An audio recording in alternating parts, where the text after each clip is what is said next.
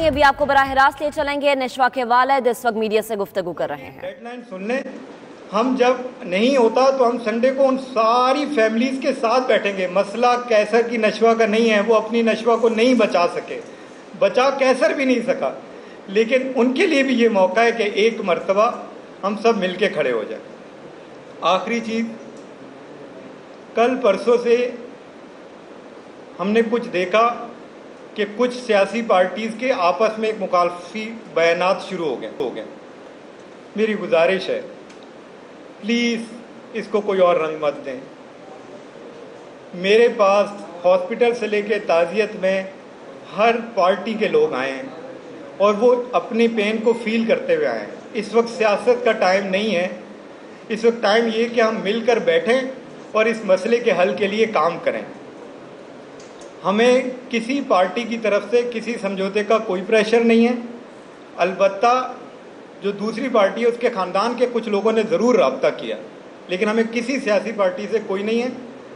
ہم سب سے یہ امید کر رہے ہیں، کراچی کے اسٹیک ہولڈرز میں پیپلز پارٹی ہو ایم کیو ایم ہو پی ٹی آئی ہو، سب کے لوگ آئے ہیں اور سب ہمارے دکھ میں شریک ہیں۔ تو میری سب سے گزارش ہے کہ پلیز اس کو کسی اور طرف مت لے کے جائیں اور اس مسئلے کو ہم مل کر حل کریں۔ بس یہی میری اچھا.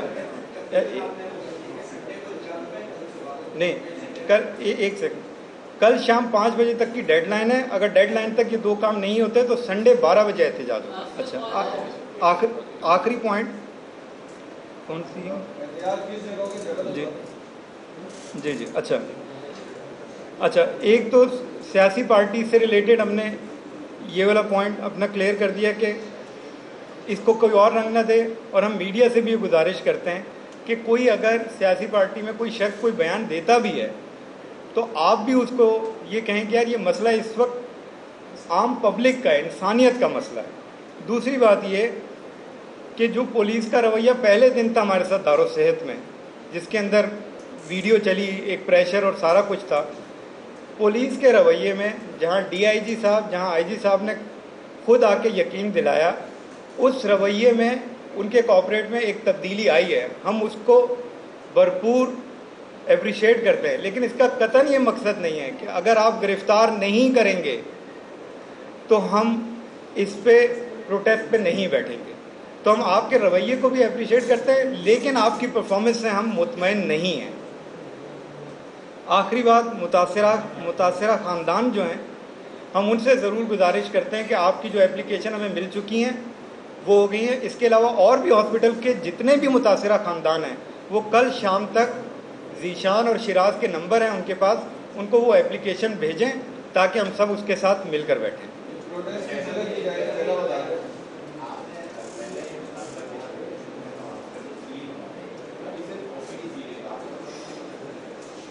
دیکھیں، قانون کے تحت جو ہمیں بتایا گیا ہے کہ اس کے پروسیس ہوتے ہیں، کہ جس کے اندر اسٹیجز میں وہ سیل ہوتا ہے۔